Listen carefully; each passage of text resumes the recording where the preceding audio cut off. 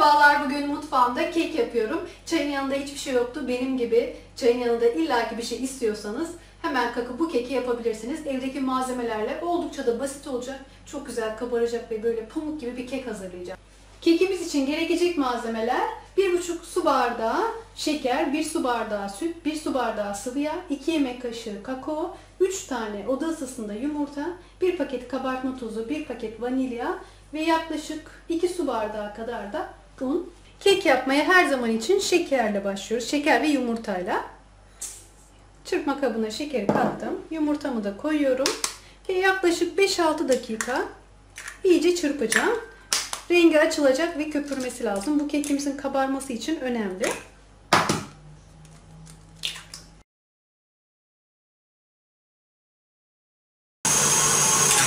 Bu kadar yeterli. Rengi nasıl açıldı ve köpürdü? Aynen böyle olmalı. Sütümü katıyorum. Bir su bardağı sıvı yağ. Bir paket vanilya.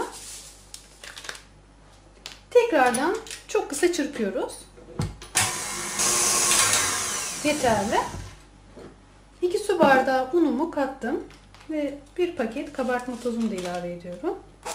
Her zaman kuru malzemeyi lütfen eleyerek katın. Daha iyi sonuç alırsınız. Unumu da ilave ediyorum.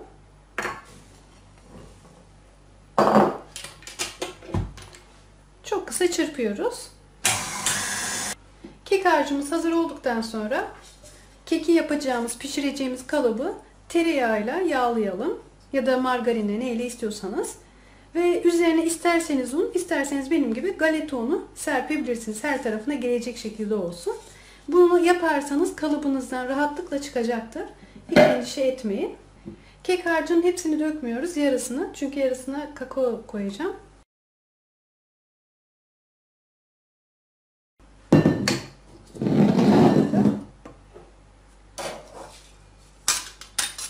İki yemek kaşığı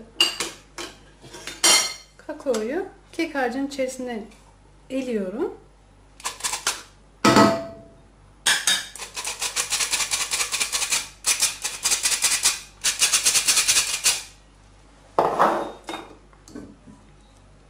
Ve karıştırıyoruz.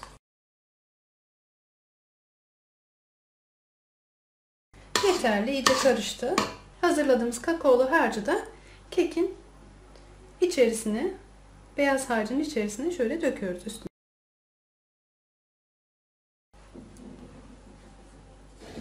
Şu şekilde yapalım.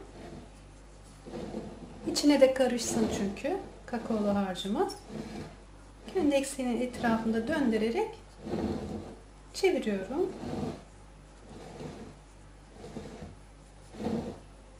Tamam. 170 derecede alt üst ayarda ısıttığım fırına koyuyorum ve yaklaşık 1 saat kadar pişme süresi var ama sizler başka kalıpta yaparsanız yani bu şekilde derin olmazsa daha kısa sürede pişecektir.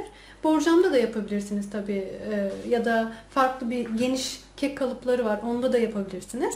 O zaman dediğim gibi 40 dakika 45 dakika ya da yarım saatte bile pişer.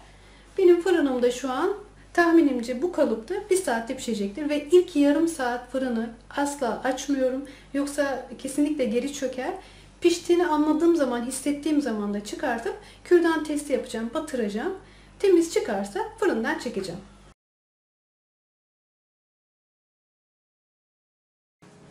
Kekime bakma vakti geldi. Tam 50 dakikadır fırındaydı. Bu süre içinde hiç açmadım.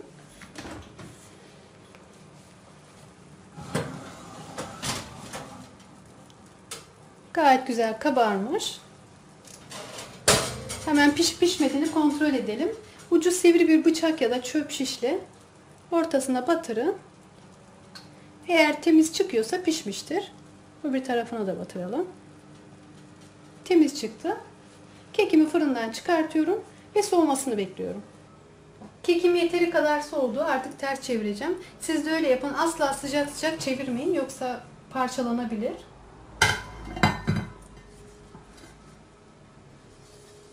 Evet, gayet güzel olmuş.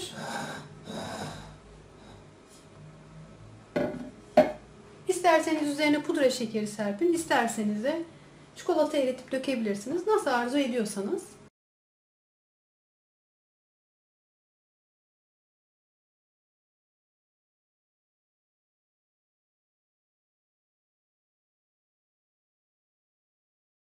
Kekimin dilimlenmiş hali.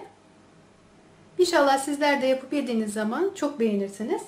Bugünlük benden bu kadar. Bir dahaki videoda görüşmek dileğiyle. Kendinize iyi bakın. Hoşçakalın.